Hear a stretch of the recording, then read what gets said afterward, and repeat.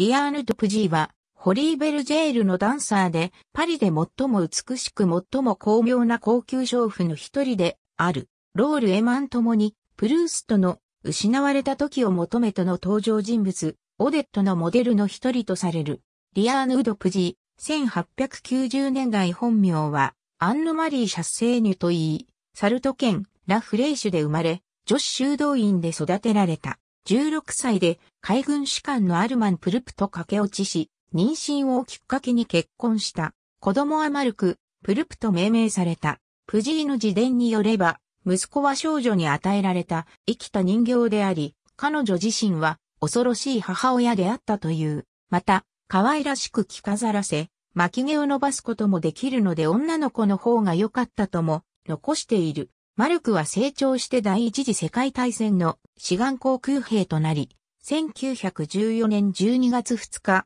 ビレールブルトヌ付近で戦死した。結婚生活は決して幸せに満ちたものではなかった。自伝によれば、アルマンからは、新婚書屋に乱暴を受け、そのことで、彼女には、感情的な傷跡が残ったという。アルマンは、獣のような人で、彼女を虐待した。彼女の乳房には、死ぬまで、長着の傷跡が残った。アルバンが海軍の仕事のためマルセイユの宿舎に単身、赴任することになり、プジーには愛人、シャルルド、マクマオン公爵ができた。ある時二人がベッドに一緒にいるのをアルマンが見つけ、リボルバーでプジーを撃ったため、プジーは手首に傷を負っている。夫と離婚する決心をしたプジーは、シタンでできたピアノを側近400フランで買ってくれる。若者に売り払い、その後1時間もしないうちにはすでにパリまでの道中にあった。幼い息子は、夫アルマンに残すこととなり、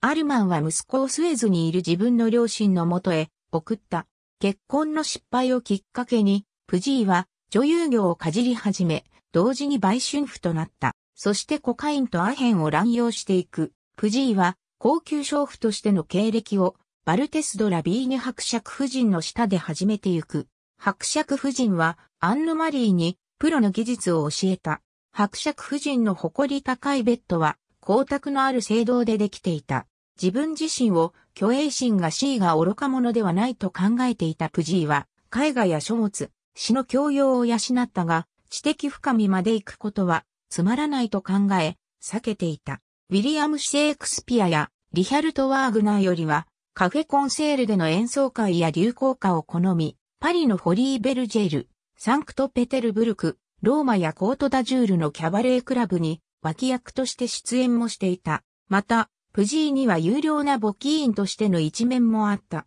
1902年パリへ移った後、有名な高級娼婦となり、ホリーベルジェールにおいて、ラ・ベルオテロのライバルと目されるほどの地位に上がった。上夫の一人であるドプジー伯爵の姓をとって名乗るようにもなる。女優サラ・ベルナールがプジーに演技を教えたことがあるが、舞台上ではその可愛らしい口を閉じた方が良いと助言した。プジーが作家ナタリー・クリフォード・バーネーと同性愛の関係にあったことは、1901年に出版されたプジーによる小説エデル・サプヒークに記されている。1899年、バーネーはパリのダンスホールでプジーを見た後、故障の衣装でプジーの住まいに現れ、自分は殺法に使わされた愛の故障であると伝えた。プジーは当時フランスで最も有名な女性であり、肩書きのある裕福な人々にいつも求められていたが、バーネーの不適さは彼女を魅了し誘惑した。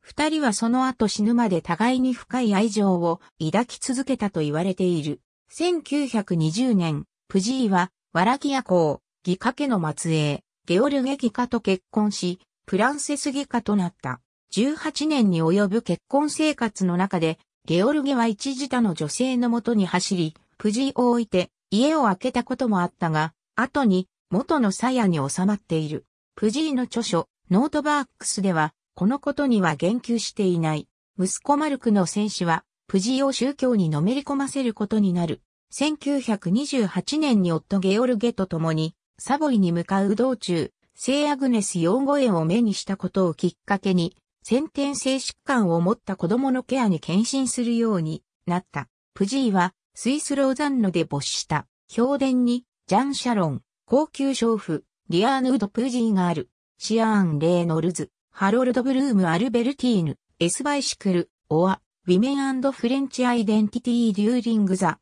Belle Époque、マルセル・プルースト、チェルシーハウスパブ、P191。ありがとうございます。